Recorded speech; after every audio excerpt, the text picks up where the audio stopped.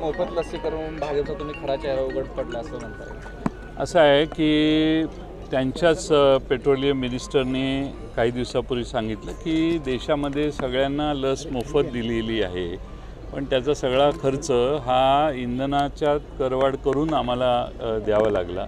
याचा अर्थ मोफत लस झालेली नाही. देशाच्या प्रत्येक ग्राहक गॅस वापरणाऱ्या गृहिणीकडून स्कूटर वापरणाऱ्या दुचाकी वापरणाऱ्याकडून चारचाकी वापरण्याकडून ट्रकवाल्यांकडून शेतकऱ्यांच्या ट्रॅक्टरवाल्यांकडून सगळ्यांकडून पेट्रोल डिझेल आणि गॅसच्या वापरावर जी करवाढ करून दरवाढ केलेली आहे त्यातून हे पैसे गोळा केलेले आहेत हे स्पष्ट आहे म्हणून मी ट्विट केलं. चंद्रकांत दादा सांगलीच्या दौऱ्यावर होते त्यांनी की महाविकास आघाडीच्या जिल्ह्यातील नेत्यांना जर राजकीय शॉक दिला तर मी खरोखर सोन्याचा मुकुट त्या कार्यकर्त्याला भाजपच्या कार्यकर्त्याला घालीन चंद्रकांत ठीक आहे. योग्य वेळी त्याचं बघू मा मा सगळ्यांना माहिती आहे आणि सोन्याचा मुकुट काही द्यायचाच नाही आहे त्यामुळं घोषणा करायला काय बिघडतं?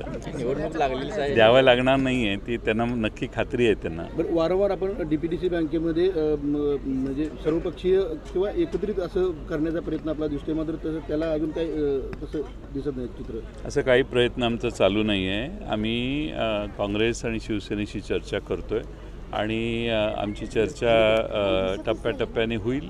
याबद्दल योग्य त्यावेळी निर्णय करू करू. असे मी म्हणत नाही पण आमची शिवसेना काँग्रेसशी चर्चा चालू आहे.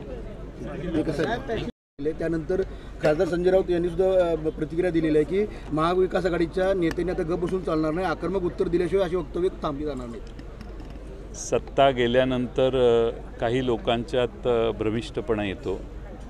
आणि काही लोकांचा तोल जातो. आता चंद्रकांत दादांचे यापैकी काय झालेलं आहे ते संशोधन करणं आवश्यक आहे. एकेरी भाषा महाराष्ट्राच्या संस्कृतीत कधीच नव्हती. दुर्दैवाने त्यांनी वापरली. अशा पद्धतीनं एकेरी भाषा वापरून चंद्रकांत दादांनी जेव्हा नरेंद्र मोदी म्हणतात की पवारसाहेबांचं बोट पकडून मी राजकारणात आलो आहे तर मला वाटतं हा एकेरीपणा त्यांनी नरेंद्र मोदींच्या बाबतीतही खाजगीमध्ये वापरलेला असावा. त्यामुळे सवय दिसते त्यांना. त्यांनी आणखीन एक टीका केलेली आहे की